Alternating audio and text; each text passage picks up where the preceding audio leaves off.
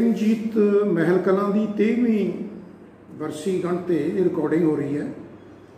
ਇਹ ਰਿਕਾਰਡਿੰਗ ਤੋਂ ਪਹਿਲਾਂ ਮੈਂ ਆਪਣੀ ਇੰਟਰੋਡਕਸ਼ਨ ਦੇਣਾ ਚਾਹੂੰਗਾ ਕਿ ਮੈਂ ਰਿਟਾਇਰਡ ਆਰਮੀ ਅਫਸਰ ਕਰਨਲ ਜਗਦੀਸ਼ ਸਿੰਘ ਬਰਾੜ, ਜਿਹੜੀ ਕਿ ਮੌਜੂਦਾ ਐਨਜੀਓ ਮਹਾਸਭਾ ਲੁਧਿਆਣਾ, ਜਿਹੜੀ ਕਿ ਪਿੰਡ ਸੁਨੇਤ ਦੇ ਨਾਲ ਹੀ ਲੱਗਦੀ ਜਗ੍ਹਾ ਤੇ ਹੈ, ਉੱਥੇ ਸਥਾਪਿਤ ਹੈ। ਇਹ ਬੇਸਿਕਲੀ ਸਾਡੀ ਐਨਜੀਓ ਜਿਹੜੀ ਹੈਗੀ ਹੈ, ਗਦਰੀ ਬਾਬੇ ਜਿੰਨੇ ਵੀ ਹੋਏ ਨੇ, ਉਹਨਾਂ ਨੇ ਸ਼ਹੀਦੀਆਂ ਦਿੱਤੀਆਂ, ਉਹਨਾਂ ਦੀ ਸਾਈਕੋਲੋਜੀ ਤੇ ਉਹਨਾਂ ਦੇ ਜਿੰਨੀ ਵੀ ਸੋਚ ਹੈ ਉਸ ਨੂੰ ਪਨਾਏ ਹੋਏ, ਅਸੀਂ ਸਾਰੇ ਆਪਣੀ ਯਾਦਗਾਰ ਦੇ ਵਿੱਚ ਉਹ ਚੀਜ਼ਾਂ ਨੂੰ ਉਭਾਰਦੇ ਆਂ ਉਸ ਉਸ ਕੰਮ ਲਈ ਲੋਕਾਂ ਦੀਆਂ ਤਕਲੀਫਾਂ, ਇਥੋਂ ਦਾ ਪ੍ਰਸ਼ਾਸਨ, ਇਥੋਂ ਦੇ ਜਿੰਨੇ ਵੀ ਹੈ, ਸੰਘਰਸ਼ ਕਰਨ ਲਈ, ਚਾਹੇ ਉਹ ਪੁਲਿਸ ਹੈ, ਇਥੋਂ ਦਾ ਲੈਂਡ ਮਾਫੀਆ ਇਥੋਂ ਦੀ ਸਿਆਸਤੀ ਸਿਆਸਤਦਾਨ ਨੇ ਇਹਨਾਂ ਦੀ ਜਿਹੜੀ ਗੱਠਜੋੜ ਹੈ, ਇਹਨੂੰ ਅਸੀਂ ਹਮੇਸ਼ਾ ਉਜਾਗਰ ਕਰਦੇ ਰਹੇ ਹਾਂ ਤੇ ਇਹ ਕਰਦੇ ਰਹਾਂਗੇ। ਤੇ ਇਹ ਸਾਡੀ ਬੈਕਗ੍ਰਾਉਂਡ ਹੋਣ ਦੇ ਨਾਤੇ ਅਸੀਂ ਆਪਣੇ ਐਨਜੀਓ ਦੇ ਤੌਰ ਤੇ ਕਿਰਨਜੀਤ ਕਾਂਡ ਦੇ ਨਾਲ ਪਿਛਲੇ ਲੰਬੇ ਸਮੇਂ ਤੋਂ ਮਿਲੇ ਹੋਏ ਹਾਂ। ਇਹਦੇ ਵਿੱਚ ਸਹਿਯੋਗ ਦਿੰਦੇ ਰਹੇ ਹਾਂ ਹਰ ਤਰ੍ਹਾਂ ਦਾ। ਤੇ ਮੈਂ ਇਹ ਸ਼ੁਰੂ 'ਚ ਹੀ ਦੱਸਣਾ ਚਾਹੂੰਗਾ ਕਿ ਸੰਯੋਗ ਇਹ ਜਿਹੜਾ ਬੇਸਿਕਲੀ ਮੂਵਮੈਂਟ ਸੀਗਾ, ਇਹ ਬਹੁਤ ਮਹਾਨ ਸੀਗਾ। ਇਹ ਜਿੰਨੇ ਵੀ ਇਸ ਗੱਠ ਦੇ ਜੋੜ ਦੇ ਵਿੱਚ ਲੋਕ ਲੋਕਾਂ ਦਾ ਸੰਪਰਕ ਰਿਹਾ ਹੈ, ਇਹ ਐਕਸ਼ਨ ਕਮੇਟੀ ਦੇ ਮੈਂਬਰ ਨੇ, ਇਹਨਾਂ ਨੇ ਜੋ ਕੰਮ ਕੀਤਾ ਬਹੁਤ ਸ਼ਲਾਘਾਯੋਗ ਹੈ। ਮੈਂ ਇਹਨਾਂ ਨੂੰ ਸ਼ੁਰੂ 'ਚ ਹੀ ਸਰੂਰ ਦੇਣਾ ਚਾਹੁੰਦਾ ਹਾਂ ਕਿ ਇਹ ਸ਼ਲਾਘਾਯੋਗ ਕੰਮ ਇੰਨਾ ਜ਼ਬਰਦਸਤ ਹੈ ਕਿ ਇਹ ਸ਼ੁਰੂ ਤੋਂ ਲੈ ਕੇ ਆਖਰ ਤੱਕ ਤਕਰੀਬਨ 22 ਸਾਲ ਇਹ ਸੰਘਰਸ਼ ਦੇ ਵਿੱਚ ਜੋ ਕੁਝ ਵੀ ਹੁੰਦਾ ਰਿਹਾ, ਇਹ ਸੰਘਰਸ਼ ਨੀਚੇ ਨਹੀਂ ਗਿਆਗਾ, ਇਹ ਸੰਘਰਸ਼ ਦਾ ਪੱਧਰ ਹਮੇਸ਼ਾ ਉੱਪਰ ਜਾਂਦਾ ਰਿਹਾ। ਇਸ ਤੋਂ ਪਤਾ ਲੱਗਦਾ ਹੈ ਕਿ ਸੰਘਰਸ਼ ਦੇ ਨਾਲ ਜੁੜੇ ਲੋਕ, ਇਹਨਾਂ ਦੇ ਮੋਢੀ ਔਰ ਲੋਕ ਜਿਹੜੇ ਸੀਗੇ, ਕਿਦਾਂ ਇਦਾਂ ਇਹ ਸੰਘਰਸ਼ ਕਰਨ ਲਈ ਇਕਜੁੱਟ ਹੋ ਚੁੱਕੇ ਸੀਗੇ। 23 ਸਾਲ ਪਹਿਲਾਂ ਜੇ ਆਪਾਂ ਪਿੱਛੇ ਝਾਤ ਮਾਰੀਏ, ਤਾਂ ਉਸ ਸਮੇਂ ਤੱਕ ਲੋਕਾਂ ਦੀ ਜਾਗਰੂਕਤਾ ਇੰਨੀ ਜ਼ਿਆਦਾ ਨਹੀਂ ਸੀਗੀ ਕਿਸੇ ਸੰਘਰਸ਼ ਨੂੰ ਕਰਨ ਦੀ ਪਰ ਹੈਡਸ ਆਫ ਇਹਨਾਂ ਲੋਕਾਂ ਦੇ ਕਿ ਜਿਨ੍ਹਾਂ ਨੇ ਇਹ ਇਕੱਠੇ ਹੋ ਕੇ ਇਸ ਬੱਚੀ ਦਾ, ਕਰਨਜੀਤ ਦਾ, ਜਿਹਦਾ ਬਲਾਤਕਾਰ ਕਰਨ ਉਪਰੰਤ ਮਰਡਰ ਕੀਤਾ ਗਿਆ ਔਰ ਉਸ ਮਰਡਰ ਨੂੰ ਦਬਾਉਣ ਲਈ ਇਸ ਗੁੰਡਾ ਅਨਸਰਾਂ ਵੱਲੋਂ ਪੋਲੀਟੀਸ਼ੀਅਨ ਨਾਲ ਮਿਲ ਕੇ ਗੁਬਰਾਹ ਕੀਤਾ ਗਿਆ। ਸ਼ੁਰੂ ਸ਼ੁਰੂ ਦੇ ਵਿੱਚ ਇਹ ਤਾਂ ਆਮ ਕਹਿੰਦੇ ਰਹੇ, ਪੁਲਿਸ ਨਾਲ ਮਿਲ ਕੇ ਕਿ ਬੱਚੀ ਜਿਹੜੀ ਹੈਗੀ ਹੈ, ਕਿਤੇ ਭੱਜ ਗਈ ਹੈ, ਕਿਤੇ ਦੌੜ ਗਈ ਹੈ, ਉਹਦਾ ਮਰਡਰ ਨਹੀਂ ਹੋਇਆਗਾ। ਤੁਸੀਂ ਜਾ ਕੇ ਚੈੱਕ ਕਰੋ ਕਿ ਸ਼ਾਇਦ ਹੋ ਸਕਦਾ ਕਿਤੇ ਅੰਮ੍ਰਿਤਸਰ ਵਗੈਰਾ ਚਲੀ ਜਾਏ। ਲੇਕਿਨ ਲੋਕਾਂ ਦਾ ਸੰਘਰਸ਼ ਇੰਨਾ ਤੇਜ਼ ਸੀਗਾ ਪ੍ਰੈਸ਼ਰ ਇੰਨਾ ਜ਼ਿਆਦਾ ਸੀਗਾ, ਜਦੋਂ ਉਹਨਾਂ ਨੇ ਦੇਖਿਆ ਕਿ ਹੁਣ ਬਸ ਦੀ ਗੱਲ ਨਹੀਂ ਗਈ, ਫਿਰ ਇਹ ਸਾਰੀ ਪੁਲਿਸ ਪੋਲੀਟੀਸ਼ੀਅਨ ਬਿਲਕੁਲ ਸਿੱਧੇ ਹੋ ਗਏ। ਔਰ ਉਹਨਾਂ ਨੇ ਆ ਕੇ ਜਿਹੜੀਆਂ ਅਸਲੀ ਚੀਜ਼ਾਂ ਸੀਗੀਆਂ, ਉਹਨਾਂ ਨੂੰ ਉਜਾਗਰ ਕੀਤਾ। ਉਜਾਗਰ ਕਰਨ ਦੇ ਨਾਲ ਜਿਹੜੀਆਂ ਚੀਜ਼ਾਂ ਸਾਹਮਣੇ ਆਈਆਂ, ਸਭ ਤੋਂ ਪ੍ਰੋਬਲਮ ਸ਼ੁਰੂ ਹੋਈ ਕਿ ਹੁਣ ਉਸ ਚੀਜ਼ ਨੂੰ ਆਪਣਾ ਪ੍ਰੂਫ ਬਣਾਉਣ ਲਈ, ਕਿਉਂਕਿ ਸਾਰੀ ਚੀਜ਼ ਕਚਹਿਰੀ 'ਚ ਜਾਏਗੀ, ਇਹ ਸੰਘਰਸ਼ ਕਮੇਟੀ ਚਾਹੁੰਦੀ ਸੀ ਕਿ ਇਹ ਸਾਰਾ ਚੀਜ਼ ਸਪਸ਼ਟ ਰੂਪ ਦੇ ਵਿੱਚ ਉੱਪਰ ਆਉਣ ਤੋਂ ਬਾਅਦ ਕਿਸੇ ਤਰ੍ਹਾਂ ਦਾ ਕੋਈ ਲੂਪ ਹੋਲ ਨਾ ਰਹਿ ਜੇ ਜਿਹੜਾ ਕਿ ਕਚਹਿਰੀਆਂ ਵਿੱਚ ਜਾ ਕੇ ਸਾਨੂੰ ਫੇਰ ਉੱਥੇ ਕੋਈ ਮੂੰਹ ਦੀ ਖਾਣੀ ਪਵੇ। ਉਸ ਲਈ ਜਿਹੜਾ ਪੋਸਟਮਾਰਟਮ ਰਿਪੋਰਟ ਜਿਹੜੀ ਸੀ, ਉਹ ਸਹੀ ਦਰਜੇ 'ਚ ਲੈਣ ਲਈ ਜਦੋਂ ਜਹਿਦ ਕਰਨੀ ਪਈ। ਇਹ ਸਾਰਾ ਪੋਸਟਮਾਰਟਮ ਪਟਿਆਲੇ ਹੋਇਆ। ਪਟਿਆਲੇ ਦੇ ਵਿੱਚ ਉਹਨਾਂ ਡਾਕਟਰਾਂ ਨੂੰ ਇਨਫਲੂਐਂਸ ਕਰਨ ਲਈ ਇਹਨਾਂ ਨੇ ਪੂਰਾ ਕੋਸ਼ਿਸ਼ ਕੀਤੀ, ਪਰ ਸਦਕੇ ਜਾਈਏ ਉਹਨਾਂ ਡਾਕਟਰਾਂ ਨੇ, ਇਹਨਾਂ ਪ੍ਰੈਸ਼ਰ ਦੇ ਬਾਵਜੂਦ ਵੀ ਚਾਹੇ ਉਹ ਪੋਲੀਟੀਕਲ ਪ੍ਰੈਸ਼ਰ ਸੀਗਾ, ਚਾਹੇ ਗੁੰਡਿਆਂ ਦਾ ਪ੍ਰੈਸ਼ਰ ਸੀਗਾ, ਚਾਹੇ ਪੁਲਿਸ ਦਾ ਪ੍ਰੈਸ਼ਰ ਸੀਗਾ, ਉਹ ਸਹੀ ਰਿਪੋਰਟਾਂ ਦਿੱਤੀਆਂ ਔਰ ਸਹੀ ਜਿਹੜਾ ਸੀਗਾ ਉਹ ਫਾਊਂਡੇਸ਼ਨ ਵੱਜ ਗਈ ਕੇਸ ਦੀ ਔਰ ਉਸ ਦੇ ਆਧਾਰ ਦੇ ਉੱਤੇ ਇਹ ਲੋਕ ਫਿਰ ਛੁੱਟ ਨਹੀਂ ਸਕੇਗੇ। ਇਹ ਆਪਣੀ ਬੇਵਸ ਹੋ ਗਏ। ਉਦੋਂ ਮੁੜ ਕੇ ਇਹਨਾਂ ਨੇ ਪੂਰਾ ਜ਼ੋਰ ਜਿਹੜਾ ਲਾਇਆ ਉਹਦੇ ਬਾਵਜੂਦ ਵੀ ਇਹਨਾਂ ਲੋਕਾਂ ਨੂੰ ਜਿਹੜੀ ਸੀਗੀ ਉਮਰ ਕੈਦ ਹੋਈ। ਲੇਕਿਨ ਉਮਰ ਕੈਦ ਕਰਾਉਣ ਲਈ ਇਹ ਸੰਘਰਸ਼ ਜਿਹੜਾ ਸੀਗਾ, ਇਹਦੇ ਵਿੱਚ ਲੋਕਾਂ ਦਾ ਬਹੁਤ ਜ਼ਿਆਦਾ ਜ਼ੋਰ ਲੱਗਿਆ। ਜ਼ੋਰ ਇਸ ਤਰ੍ਹਾਂ ਲੱਗਿਆ ਕਿ ਸ਼ੁਰੂ 'ਚ ਹੀ ਜਦੋਂ ਵੀ ਇਹ ਲੋਕ ਕਚਹਿਰੀ ਚਾਹੁੰਦੇ ਸੀਗੇ, ਦੂਸਰੀ ਧਿਰ ਕਿਸੇ ਤਰੀਕੇ ਦੇ ਨਾਲ ਪੈਰਲਲ ਕੇਸ ਬਣਾਉਣ ਲਈ ਹਮੇਸ਼ਾ ਤਤਪਰ ਰਹਿੰਦੀ ਸੀ। ਉਹਨਾਂ ਦਾ ਆਪਣਾ ਹੀ ਬਜ਼ੁਰਗ ਦਲੀਪੀਆ, ਉੱਥੇ ਬਾਹਰ ਦੇ ਲੋਕਾਂ ਦੇ ਹਜੂਮ ਤੋਂ ਕਿਸੇ ਤਰੀਕੇ ਦੇ ਨਾਲ ਮਾਰਿਆ ਗਿਆ। ਉਸ ਸਦਕੇ ਜਿਹੜੇ ਇਹ ਸਾਡੇ ਆਗੂ ਸੀ ਤਿੰਨ ਐਕਸ਼ਨ ਕਮੇਟੀ ਦੇ, ਮਨਜੀਤ ਨੇਰ ਮਾਸਟਰ ਪ੍ਰੇਮ ਕੁਮਾਰ ਇਹ ਨਰੈਣ ਦੱਤ ਸੀਗੇ ਤੇ ਇਹਨਾਂ ਤਿੰਨਾਂ ਦੇ ਉੱਤੇ ਕੇਸ ਦਰਜ ਹੋ ਗਿਆ। ਔਰ ਕੇਸ ਜਿਹੜਾ ਸੀਗਾ 2005 ਦੇ ਵਿੱਚ ਡਿਕਲੇਅਰ ਹੋ ਗਿਆ ਕਿ ਇਹਨਾਂ ਨੂੰ ਉਮਰ ਕੈਦ ਹੋ ਗਈ ਹੈ ਪੈਰਲ ਬੜਾ ਅਫਸੋਸ ਹੋਇਆ। ਪੂਰੇ ਲੋਕਾਂ ਨੂੰ ਪਤਾ ਹੈ, ਪੂਰੇ ਇਲਾਕੇ ਦੇ ਲੋਕਾਂ ਨੂੰ ਪਤਾ ਹੈ ਕਿ ਅਸਲੀਅਤ ਕੀ ਹੈ। ਪਰ ਫਿਰ ਵੀ ਦੇਖੋ ਕਿੱਦਾਂ ਇਹ ਮੈਨੇਜ ਕਰਕੇ ਇਹ ਲੋਕਾਂ ਦੀ ਆਵਾਜ਼ ਨੂੰ ਦਬਾਉਣ ਲਈ, ਲੋਕਾਂ ਦੇ ਸੰਘਰਸ਼ ਨੂੰ ਜ਼ੀਰੋ ਕਰਨ ਲਈ ਉਹਨਾਂ ਨੇ ਐਕਸ਼ਨ ਕਮੇਟੀ ਦੇ ਮੈਂਬਰਾਂ ਤੋਂ ਜਿਹੜੇ ਮੂਹਰੇ ਅੱਗੇ ਹੋ ਕੇ ਲੜ ਰਹੇ ਸੀਗੇ, ਉਹਨਾਂ ਤੇ ਇਹ ਗਲਤ ਕੇਸ ਪਾ ਦਿੱਤਾ। ਲੋਕਾਂ ਨੂੰ ਹੋਰ ਸੰਘਰਸ਼ ਕਰਨਾ ਪਿਆ। ਉਸ ਤੋਂ ਬਾਅਦ 2 ਸਾਲ ਤੋਂ ਬਾਅਦ 2007 ਦੇ ਵਿੱਚ ਇਹ ਕੇਸ ਜਿਹੜਾ ਸੀਗਾ ਚੀਫ ਮਿਨਿਸਟਰ ਦੀ ਰეკਮੈਂਡੇਸ਼ਨ ਤੋਂ ਬਾਅਦ ਗਵਰਨਰ ਕੱਲਿਓਂ ਜਿਹੜਾ ਸੀਗਾ, ਉਹ ਇਹਨਾਂ ਦਾ ਕੇਸ ਜਿਹੜਾ ਆਪਣੀ ਸਜ਼ਾ ਜਿਹੜੀ ਸੀਗੀ ਉਹ ਰੱਦ ਕਰਨ ਲਈ ਕੇਸ ਤਿਆਰ ਕੀਤਾ ਗਿਆ। ਕੇਸ ਜਿਹੜਾ ਸੀਗਾ ਹਾਈ ਕੋਰਟ ਦੇ ਉੱਤੋਂ, ਇਹ ਦੋਨੋਂ ਜਿਹੜੇ ਸੀਗੇ ਬਰੀ ਹੋ ਗਏ, ਪਰ ਇਹਨਾਂ ਦੇ ਵਿੱਚੋਂ ਜਿਹੜਾ ਮਨਜੀਤ ਨੇ ਉਹ ਬਰਕਰਾਰ ਰਿਹਾ। ਉਹ ਹਾਈ ਕੋਰਟ ਸੁਪਰੀਮ ਕੋਰਟ ਨੇ ਇਸ ਨੂੰ ਬਰਕਰਾਰ ਰੱਖਿਆ ਔਰ ਨਾਲ ਇਨਸਟਰਕਸ਼ਨ ਦਿੱਤੀਆਂ ਕਿ ਪੰਜਾਬ ਦੇ ਗਵਰਨਰ ਜਿਹੜੇ ਸੀਗੇ, ਇਸ ਕੇਸ ਨੂੰ ਰਫਾ ਦਫਾ ਕਰਨ ਲਈ ਜਾਂ ਇਸ ਨੂੰ ਠੀਕ ਕਰਨ ਲਈ ਆਪਣੇ ਕਮੈਂਟਸ ਦੇਣ, ਪਰ ਅਫਸੋਸ ਦੀ ਗੱਲ ਇਹ ਹੈ ਕਿ 2019 ਤੱਕ 2019 ਤੱਕ 97 ਦਾ ਕੇਸ ਹੋਏ ਤੇ 2019 ਤੱਕ 18 ਸਾਲ ਤੋਂ ਬਾਅਦ ਕੇਸ ਉੱਥੇ ਦਾ ਉੱਥੇ ਫਾਈਲਾਂ ਵਿੱਚ ਚੱਲਦਾ ਰਿਹਾ। ਜਦੋਂ ਸੁਪਰੀਮ ਕੋਰਟ ਨੇ ਇਹ ਦਿੱਤਾ ਤੇ ਉਸ ਹਾਲਤ ਦੇ ਵਿੱਚ ਸਾਥੀ ਮਨਜੀਤ ਨੇ ਜੇਲ੍ਹ ਜਾਣਾ ਪਿਆ। ਜਦੋਂ ਜੇਲ੍ਹ ਜਾਣਾ ਪਿਆ, ਤਾਂ ਉਸ ਹਾਲਤ ਦੇ ਵਿੱਚ ਲੋਕਾਂ ਦੇ ਮਨਾਂ ਦੇ ਉੱਤੇ ਹੋਰ ਜ਼ਿਆਦਾ ਠੇਸ ਪਹੁੰਚੀ ਕਿ ਇੱਕ ਇਮਾਨਦਾਰ ਆਦਮੀ ਲੋਕਾਂ ਲਈ ਸੰਘਰਸ਼ ਕਰਦੇ, ਲੋਕਾਂ ਦੇ ਮੁੱਦਿਆਂ ਨੂੰ ਉਭਾਰਦੇ ਹੋਏ, ਇਹ ਸਾਰਾ ਕੁਝ ਸਮਾਜ ਦੇ ਵਿੱਚ ਠੀਕ ਕਰਦੇ ਹੋਏ ਵੀ ਇਥੋਂ ਦਾ ਸਿਸਟਮ ਕਿਦਾਂ ਇੱਕ ਦੂਸਰੀ ਨਲੈਕੀ ਦੇ ਕਾਰਨ ਇਹ ਸਾਰਾ ਕੁਝ ਇਹਨਾਂ ਲੋਕਾਂ ਨੂੰ ਗਲਤ ਤਰੀਕੇ ਦੇ ਨਾਲ ਜੇਲ੍ਹਾਂ ਵਿੱਚ ਭੇਜ ਰਿਹਾ। ਫਿਰ ਜੇਲ੍ਹ ਦੇ ਅੱਗੇ ਮੋਰਚਾ ਲੱਗ ਗਿਆ।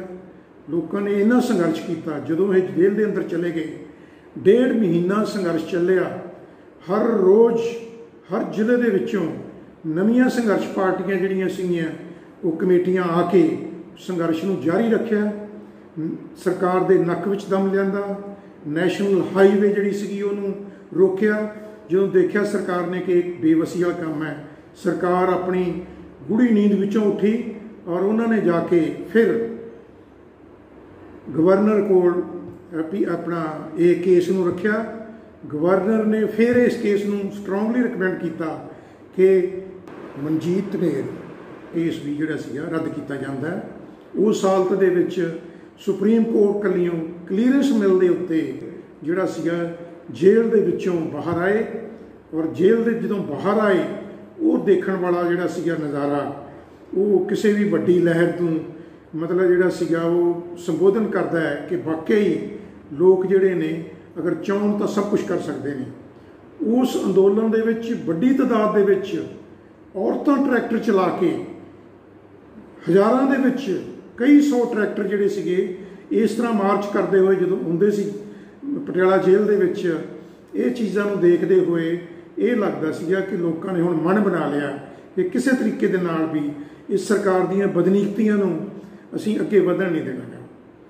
ਇਹ ਚੀਜ਼ ਤਾਂ ਪੂਰੇ ਕੇਸ ਦੇ ਬਾਰੇ ਸੀ ਹੁਣ ਇਸ ਕੇਸ ਕੇਸ ਨੇ ਬਹੁਤ ਜ਼ਿਆਦਾ ਪਿਛੋਕੜ ਜਿਹੜੇ ਸੀਗੇ, ਬਹੁਤ ਜ਼ਿਆਦਾ ਹੋਰ ਚੀਜ਼ਾਂ ਜਿਹੜੀਆਂ ਲੋਕਾਂ ਦੇ ਮਨਾਂ ਦੇ ਛੱਡੀਆਂ ਨੇ, ਉਹ ਬਹੁਤ ਜ਼ਿਆਦਾ ਪ੍ਰਭਾਵਿਤ ਕਰਨ ਵਾਲੀਆਂ ਨੇ, ਜਿਹੜੀਆਂ ਕਿ ਸਭ ਤੋਂ ਜ਼ਿਆਦਾ ਹਾਈਲਾਈਟ ਕਰਨੀਆਂ ਜ਼ਰੂਰੀ ਹੈ। ਪੰਜਾਬ ਨੇ ਪਿਛਲੇ ਸਮੇਂ ਦੇ ਵਿੱਚ ਬਹੁਤ ਸੰਘਰਸ਼ ਕੀਤਾ। ਪੰਜਾਬ ਦੇ ਲੋਕਾਂ ਨੇ, ਚਾਹੇ ਉਹ ਅਕਾਲੀ ਲਹਿਰ ਸੀਗੀ ਅਲੱਗ-ਅਲੱਗ ਮੋਰਚੇ ਸੀਗੇ ਸਿੱਖਾਂ ਦੇ, ਚਾਹੇ ਉਹ ਜੈਤੋ ਦਾ ਮੋਰਚਾ ਸੀਗਾ। ਉਸ ਸਮੇਂ ਤੋਂ ਬਾਅਦ ਇਹ ਸੰਘਰਸ਼ ਜਿਹੜਾ ਸੀਗਾ, ਇਹ ਜਿਹੜੀ ਲਹਿਰ ਸੀਗੀ, ਇੱਕ ਤਰ੍ਹਾਂ ਦੀ ਓਡੀ ਵੱਡੀ ਸੀਗੀ। ਪਰ ਇਸ ਨੂੰ ਹਾਲ ਤੱਕ ਨਾ ਤਾਂ ਕੋਈ ਰਿਕਾਰਡਿੰਗ ਕੀਤੀ ਗਈ ਹੈ ਰਿਕਾਰਡਿੰਗ ਕੀਤੀ ਹੈ, ਉਹ ਲੋਕਾਂ ਤੱਕ ਪਹੁੰਚੀ ਨਹੀਂ ਗਈਗੀ। ਮੈਂ ਸਮਝਦਾ ਕਿ ਐਡੀ ਵੱਡੀ ਲਹਿਰ, ਐਡੇ ਵੱਡੇ ਦੇ ਸਬਕ ਜਿਹੜੇ ਸੀਗੇ, ਐਡੇ ਵੱਡਾ ਇਹਨਾਂ ਦਾ ਫਲਸਫਾ ਲੋਕਾਂ ਤੱਕ ਗਿਆ, ਲੋਕਾਂ ਦੀ ਮੋਟੀਵੇਸ਼ਨ ਹੋਈ ਹੈ। ਇਸ ਨੂੰ ਕਿਤਾਬ ਦਾ ਰੂਪ ਮਿਲਣਾ ਚਾਹੀਦਾ ਹੈ। ਪੰਜਾਬੀ ਦੇ ਵਿੱਚ ਪਹਿਲਾਂ ਕੀਤਾ ਜਾਵੇ, ਇਸ ਦਾ ਉਲਥਾ ਇੰਗਲਿਸ਼ ਵਿੱਚ ਕੀਤਾ ਜਾ ਸਕਦਾ ਹੈ, ਬਾਕੀ ਜ਼ਬਾਨਾਂ ਵਿੱਚ ਕੀਤਾ ਜਾ ਸਕਦਾ ਹੈ। ਬਾਕੀ ਜ਼ਬਾਨਾਂ 'ਚ ਕੀਤਾ ਹੋਇਆ ਉਲਥਾ ਜਦੋਂ ਵੀ ਕਿਸਾਨਾਂ ਦੇ ਸੰਘਰਸ਼ ਦਿੱਲੀ ਦੇ ਵਿੱਚ ਸਾਰੇ ਸੂਬਿਆਂ ਤੋਂ ਹੁੰਦੇ ਆ, ਉਹ ਕਿਤਾਬਾਂ ਉਹਨਾਂ ਨੂੰ ਦਿੱਤੀਆਂ ਜਾਣ, ਇੱਕ ਨਮੂਨਾ ਪੇਸ਼ ਕੀਤਾ ਜਾਵੇ ਕਿ ਵੀਰੋ, ਸਾਰੇ ਇਕੱਠੇ ਹੋਵੋ ਇਸ ਹਾਲਤ ਦੇ ਵਿੱਚ ਇੱਕ ਵੱਡਾ ਸੰਘਰਸ਼ ਜਿਹੜਾ ਪੰਜਾਬ ਚੱਲਿਆ ਸੀਗਾ, ਉਹਦੇ ਰਿਜ਼ਲਟ ਤੁਹਾਡੇ ਸਾਹਮਣੇ ਹੈ। ਤਾਂ ਕਿ ਲੋਕਾਂ ਨੂੰ ਇਸ ਚੀਜ਼ ਦਾ ਜਿਹੜਾ ਸੀਗਾ ਮੋਟੀਵੇਸ਼ਨ ਹੋਵੇ ਕਿ ਯਸ ਲੋਕੀ ਵੀ ਦਾ ਪੀਪਲ ਜਿਹੜਾ ਕਿ ਸੰਵਿਧਾਨ ਦੇ ਵਿੱਚ ਸਰਜ ਹੈ, ਅਸੀਂ ਉੱਪਰ ਹੈ, ਅਸੀਂ ਨੀਚੇ ਨਹੀਂ ਹੈ। ਇਹ ਸਰਕਾਰਾਂ ਸਾਡੀਆਂ ਨੌਕਰ ਨੇ, ਇਹ ਸਾਡੇ ਜਿਹੜੀਆਂ ਸਾਡੇ ਤੇ ਬੈਠ ਕੇ ਸਾਡੇ ਸਿਰਾਂ ਦੇ ਉੱਤੇ ਸਾਡੇ ਨੂੰ ਕੁੱਟ ਕਰ ਰਹੀਆਂ ਨੇ, ਪੁਲਿਸ ਦੇ ਉੱਤੋਂ ਸਾਡਾ ਸਾਰਾ ਕੁਝ ਤਬਾਹ ਕਰ ਰਹੀਆਂ ਨੇ, ਸਾਡਾ ਵਿਰਸਾ ਖਰਾਬ ਕਰ ਰਹੀਆਂ ਨੇ। ਇਹ ਵਿਰਸੇ ਦੇ ਉੱਤੇ ਸਾਨੂੰ ਸੰਭਾਲਣ ਦੀ ਲੋੜ ਹੈ। ਇਹ ਤਾਂ ਹੀ ਹੋ ਸਕਦਾ ਹੈ ਕਿ ਅਸੀਂ ਇਹਨਾਂ ਕਿਤਾਬਾਂ ਰਾਹੀਂ ਲੋਕਾਂ ਨੂੰ ਪਹੁੰਚਾਈਏ। ਇਹ ਤਾਂ ਇੱਕ ਸਬਕ ਇਸ ਤਰ੍ਹਾਂ ਹੈਗਾ। ਦੂਸਰਾ ਮੈਂ ਸਮਝਦਾ ਹਾਂ ਕਿ ਮੋਟੀਵੇਸ਼ਨ ਬਹੁਤ ਸਟਰੋਂਗ ਹੋਈ ਲੋਕਾਂ ਦੀ। ਪਿਛਲੇ ਸਮੇਂ ਦੇ ਵਿੱਚ ਔਰਤਾਂ ਬਹੁਤ ਘੱਟ ਗਿਣਤੀ ਦੇ ਵਿੱਚ ਇਹ ਜੇ ਸੰਘਰਸ਼ ਦੇ ਵਿੱਚ ਆਉਂਦੀਆਂ ਸੀਗੀਆਂ। ਲੇਕਿਨ ਜਦੋਂ ਇਹ ਮੂਵਮੈਂਟ ਚੱਲਿਆ, ਔਰਤਾਂ ਦੀ ਤਦਾਦ ਵੱਡੀ ਗਿਣਤੀ ਦੇ ਵਿੱਚ ਇਹਦੇ ਚ ਆਉਣੀ ਸ਼ੁਰੂ ਹੋਈ। ਔਰਤਾਂ ਜਿਹੜੇ ਸਮਾਜ ਦਾ 50% ਹਿੱਸਾ ਨੇ ਅਗਰ ਉਹ ਸਮਾਜ 50% ਆਪਣੇ ਕਦਾਂ ਘਰਾਂ 'ਚ ਕੈਦ ਰਹਿੰਦਾ ਹੈ ਔਰ ਬਾਹਰ ਨਹੀਂ ਆ ਸਕਦਾਗਾ, ਔਰ ਉਹ ਮੈਂਟਲੀ ਜਿਹੜਾ ਸੀਗਾ, ਉਹ ਸਟਰੋਂਗ ਨਹੀਂ ਹੈ ਔਰ ਸੰਘਰਸ਼ ਕਰਨ ਦੇ ਆਪਣੇ ਆਪ ਨੂੰ ਲੈਕ ਨਹੀਂ ਸਮਝਦਾਗਾ, ਉਹ ਬੜੇ ਅਫਸੋਸ ਦੀ ਗੱਲ ਹੈ ਕਿ ਉਹ ਸਮਾਜ ਨੂੰ ਤੁਸੀਂ ਠੀਕ ਸਮਾਜ ਨਹੀਂ ਸਕਦੇ ਕਿ ਬਿਮਾਰੂ ਸਮਾਜ ਹੋਏਗਾ ਉਹ। ਪਰ ਇਹਨਾਂ ਚੀਜ਼ਾਂ ਨੇ, ਇਹਨਾਂ ਸੰਘਰਸ਼ਾਂ ਨੇ, ਉਹ ਚੀਜ਼ ਜਿਹੜੀ ਹੈਗੀ ਹੈ 50% ਜਿਹੜਾ ਸਮਾਜ ਦਾ ਸੁੱਤਾ ਪਿਆ ਹਿੱਸਾ ਸੀਗਾ ਔਰਤਾਂ ਦਾ, ਉਹਨਾਂ ਨੂੰ ਜਗਾਇਆ। ਇਹ ਸੰਘਰਸ਼ ਸਿਰਫ ਇੱਥੇ ਹੀ ਨਹੀਂ ਹੋਇਆਗਾ। ਇਹ ਸੰਘਰਸ਼ ਪੂਰੇ ਦੇਸ਼ ਦੇ ਵਿੱਚ ਔਰਤਾਂ ਦੇ ਵੱਲੋਂ ਚਰਗਾਏ ਗਏ ਸੰਘਰਸ਼ ਹਰ ਜਗ੍ਹਾ ਤੇ ਪਾਏ ਗਏ ਔਰ ਇਹਦਾ ਵੱਡਾ ਨਮੂਨਾ ਜਿਹੜਾ ਸਾਨੂੰ ਦਿੱਲੀ ਦੇ ਵਿੱਚ ਜਦੋਂ ਮੁਸਲਮਾਨ ਔਰਤਾਂ ਇਕੱਠੀਆਂ ਹੋ ਕੇ ਇਹ ਮੋਦੀ ਸਰਕਾਰ ਦੇ ਅਗੇਂਸਟ ਜਦੋਂ ਉੱਥੇ ਇਕੱਠੀਆਂ ਹੋਈਆਂ ਤਾਂ ਸਰਕਾਰ ਨੇ ਹੱਥ ਖੜੇ ਕਰਨੇ ਪਏ। ਸਰਕਾਰ ਬੇਵਸ ਹੋ ਗਈ। ਕਿ ਇਹਨਾਂ ਔਰਤਾਂ ਦੇ ਸੰਘਰਸ਼ ਇਹਨਾਂ ਜ਼ਬਰਦਸਤ ਸੀਗਾ। ਪੜ੍ਹੀਆਂ ਲਿਖੀਆਂ ਔਰਤਾਂ, ਜਿਹੜੀਆਂ ਕਿ ਇਸ ਮੂਵਮੈਂਟ ਨੂੰ ਸੇਧ ਦੇ ਸਕਦੀਆਂ ਸੀਗੀਆਂ ਡਾਇਰੈਕਸ਼ਨ ਦੇ ਸਕਦੀਆਂ ਸੀਗੀਆਂ, ਇਸ ਸੰਘਰਸ਼ ਨੂੰ ਮੀਨਿੰਗਫੁਲ ਬਣਾ ਸਕਦੀਆਂ ਸੀਗੀਆਂ। ਉਹ ਅੱਗੇ ਆਈਆਂ। ਇਹ ਸ਼ਬੀਨ ਬਾਗ ਜਿਹੜਾ ਸੰਘਰਸ਼ ਸੀਗਾ, ਇੱਕ ਬਹੁਤ ਹੀ ਪ੍ਰਭਾਵੀ ਸੀਗਾ ਔਰ ਜਿਹੜਾ ਪੂਰੀ ਦੁਨੀਆ ਦੇ ਵਿੱਚ ਇਹਦਾ ਨਮੂਨਾ ਜਿਹੜਾ ਸੀਗਾ, ਉਹ ਹਰ ਇੱਕ ਮੁਲਕ ਨੇ ਇਸ ਨੂੰ ਸਲਾਹਿਆ। ਤੇ ਇਹ ਜਿਹੜੀ ਚੀਜ਼ ਸੀਗੀ, ਇਹ ਇੱਕ ਬਹੁਤ ਵੱਡਾ ਜਿਹੜਾ ਸੀਗਾ, ਇਹਨਾਂ ਸੰਘਰਸ਼ਾਂ ਦੇ ਵਿੱਚੋਂ ਸਬਕ ਸਾਨੂੰ ਮਿਲਿਆ। ਹੁਣ ਇਸ ਤੋਂ ਅਗਲੀ ਗੱਲ ਜਿਹੜੀ ਦੇਖੋ, ਕਿ ਇਹ ਹੁਣ ਮੌਜੂਦਾ ਜਿਹੜਾ ਗਵਰਨਮੈਂਟ ਦਾ ਢਾਂਚਾ ਹੈ, ਇਹ ਬਹੁਤ ਹੀ ਖਰਾਬ ਹੋ ਚੁੱਕਿਆ ਹੈ। ਹੁਣ ਅੱਜ ਤੁਸੀਂ ਕਹਿ ਨਹੀਂ ਸਕਦੇ ਕਿ ਕੋਈ ਸਰਕਾਰ, ਕੋਈ ਪੋਲੀਟੀਕਲ ਪਾਰਟੀ ਚਲਾ ਰਹੀ ਹੈ। ਟੋਟਲ ਗੁੰਡਾਗਰਦੀ ਹੈ ਟੋਟਲ ਮਾਫੀਆ ਰਾਜ ਹੈ ਟੋਟਲ ਲੁੱਟ ਹੈ। ਇਸ ਲੁੱਟ ਨੂੰ ਕਰਨ ਲਈ ਇਹ ਜਿਹੇ ਸੰਘਰਸ਼ ਜਿਹੜੇ ਸੀਗੇ ਹੋਰ ਤੇਜ਼ੀ ਦੇ ਨਾਲ, ਹੋਰ ਸਟਰੋਂਗ ਹੋ ਕੇ, ਹੋਰ ਤਦਾਦ ਦੇ ਵਿੱਚ ਵੱਢਣ ਦੀ ਲੋੜ ਹੈ। ਇਹ ਸੰਘਰਸ਼ ਕਿਰਨਜੀਤ ਵਾਲਾ ਤਾਂ ਸਕਸੈਸਫੁਲ ਹੋਇਆ ਸੀਗਾ। ਉਸ ਟਾਈਮ ਜਿੰਨੇ ਵੀ ਇਲਾਕੇ ਦੇ ਜ਼ਿਆਦਾ ਮਾਲਵੇ ਦੇ ਕੁਝ ਇੱਕ ਜਥੇਬੰਦੀਆਂ ਬਾਹਰਲੇ ਮਾਝੇ ਦੁਆਬੇ ਦੀਆਂ ਇਹ ਸੰਘਰਸ਼ ਦੇ ਵਿੱਚ ਸ਼ਾਮਲ ਹੋਈਆਂ। ਇਹਦੀ ਸੰਘਰਸ਼ ਨੂੰ, ਇਹਦਾ ਜਿਹੜਾ ਸੀਗਾ ਉਹ, ਇਹ ਹੰਗਾਰਾ ਮਿਲਿਆ। ਇਹਦੀ ਜਿਹੜੀ ਸੀਗੀ ਸਟਰੈਂਥ ਵਧੀ, ਇਸ ਕਰਕੇ ਜਿਹੜਾ ਸੀਗਾ ਸੰਘਰਸ਼ ਉਹ ਸਕਸੈਸਫੁਲ ਹੋਇਆ ਲੇਕਿਨ ਮੈਂ ਚਾਹੂੰਗਾ ਕਿ ਹਾਲ ਵੀ ਬਹੁਤ ਵੱਡੀ ਤਦਾਦ ਦੇ ਵਿੱਚ ਸਾਡਾ ਸਮਾਜ ਸੁੱਤਾ ਪਿਆ ਹੈ। ਸਾਡੇ ਸਮਾਜ ਨੂੰ ਹਾਲ ਤੱਕ ਵੀ ਪਤਾ ਨਹੀਂ ਹੈ ਕਿ ਉਹਨਾਂ ਲਈ ਕੀ ਠੀਕ ਹੈ ਔਰ ਕੀ ਗਲਤ ਹੈ। ਉਹਦੀ ਵੱਡੀ ਉਦਾਹਰਨ ਇਹ ਹੈ ਕਿ ਕਿਰਨਜੀਤ ਨੂੰ ਬਲਾਤਕਰਨ ਉਪਰੰਤ ਜਿਹੜੇ ਇਹਨਾਂ ਦੇ ਕਤਲ ਕਰਨ ਵਾਲੇ ਬੰਦੇ ਸੀਗੇ, ਜਦੋਂ ਉਹ ਜੇਲ੍ਹ ਤੋਂ ਛੁੱਟ ਕੇ ਆਏ, ਉਦੋਂ ਬਾਅਦ ਉਹਨਾਂ ਪਿੰਡ ਦੇ ਲੋਕਾਂ ਨੇ ਉਹਨਾਂ ਨੂੰ ਸਰਪੰਚ ਨਿਯੁਕਤ ਕੀਤਾ। ਇਹ ਇੱਕ ਬਹੁਤ ਬਹੁਤ ਜਿਹੜੀ ਬਿਮਾਰੂ ਮਾਨਸਿਕਤਾ ਦਾ ਇੱਕ ਬਹੁਤ ਵੱਡਾ ਨਮੂਨਾ ਹੈ। ਇਹ ਕਿੱਦਾਂ ਹੋਇਆ? ਕਿਵੇਂ ਹੋਇਆ? ਕੀ ਲੋਕ ਹਾਲ ਵੀ ਉਹਨਾਂ ਤੋਂ ਡਰਦੇ ਸੀਗੇ? ਕੀ ਲੋਕ ਹਾਲ ਵੀ ਭੈਪੀਤ ਸੀਗੇ ਕਿ ਇਹ ਹੁਣ ਬਾਹਰ ਜਦੋਂ ਆ ਗਏ, ਪਤਾ ਨਹੀਂ ਕੀ ਕਰਨਗੇ? ਕਿੰਨਿਆਂ ਲੋਕਾਂ ਨੂੰ ਇਹ ਉਜਾੜਨਗੇ? ਲੋਕੀ ਹਾਲ ਤੱਕ ਵੀ ਡਰੇ ਹੋਏ ਸੀਗੇ। ਇਹ ਲੋਕਾਂ ਦਾ ਡਰ ਜਿਹੜਾ ਸੀਗਾ ਤਦ ਹੀ ਨਿਕਲ ਸਕਦਾ ਹੈ। ਹੁਣ ਤੁਸੀਂ ਇਹ ਦੇਖੋ ਕਿ ਜਦੋਂ ਉਹ ਸਰਪੰਚ ਬਣ ਗਏ ਉਹਨਾਂ ਦੇ, ਹੈ ਜੀ, ਗੁੰਡੇ, ਉਹਨਾਂ ਕੋਲ 5 ਸਾਲਾਂ ਦੇ ਦੌਰਾਨ ਇਹੋ ਜਿਹੇ ਕੇਸ ਵੀ ਆਏ ਹੋਣਗੇ ਜਿਹੜੇ ਗਰੀਬਾਂ ਦੇ ਉੱਤੇ, ਲੋਕਾਂ ਦੇ ਜਿਹੜੇ ਸੀਗੇ ਬੇਇਨਸਾਫੀ ਦੇ ਕੇਸ ਹੋਏ ਉਹ ਕਿੱਦਾਂ ਨਜਿੱਠਦੇ ਹੋਣਗੇ? ਉਹਨਾਂ ਦੀ ਮਾਨਸਿਕਤਾ ਕਿੱਦਾਂ ਦੀ ਹੋਊਗੀ?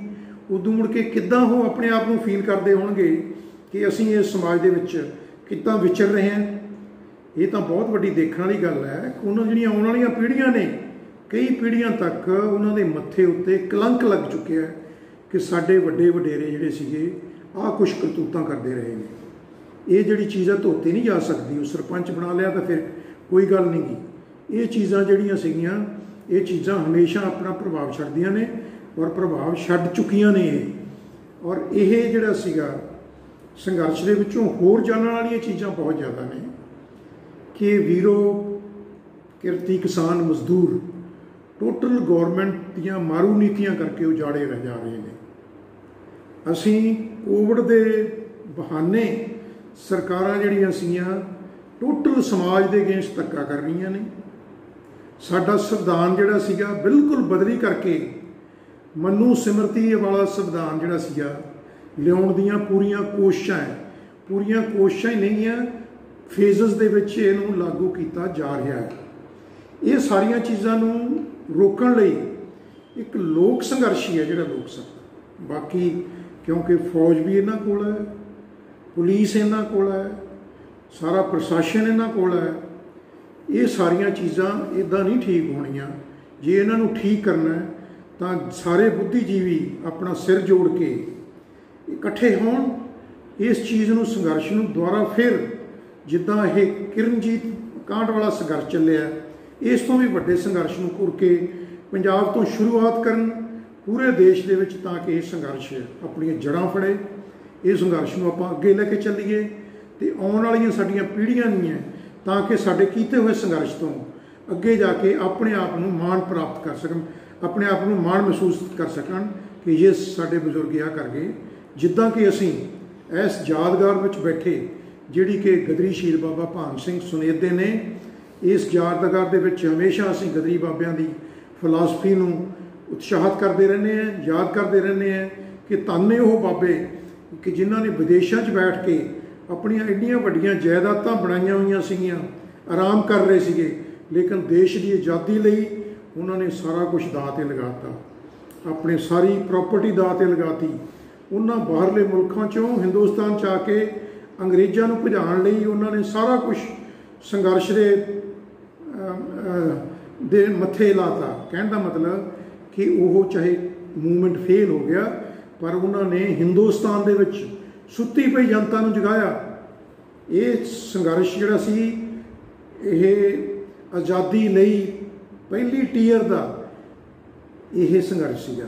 ਇਹ ਜਦੋਂ ਸੰਘਰਸ਼ ਖਤਮ ਹੋ ਗਿਆ, ਰਾਜਗੁਰੂ ਸਰਦੇਵ ਭਗਤ ਸਿੰਘ ਆਜ਼ਾਦ ਵਗੈਰਾ ਉਹ ਦੂਸਰੀ ਟੀਅਰ ਦੇ ਬੰਦੇ ਸੀਗੇ।